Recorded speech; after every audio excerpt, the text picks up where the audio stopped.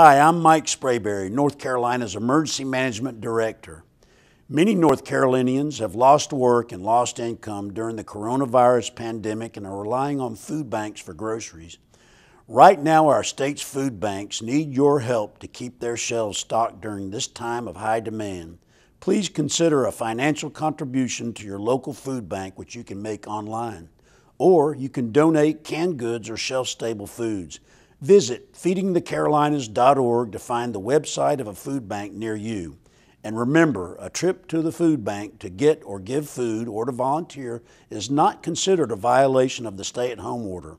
Don't forget to call your loved ones and look out for your friends and neighbors. With your help, we'll all get through this pandemic together. Thank you.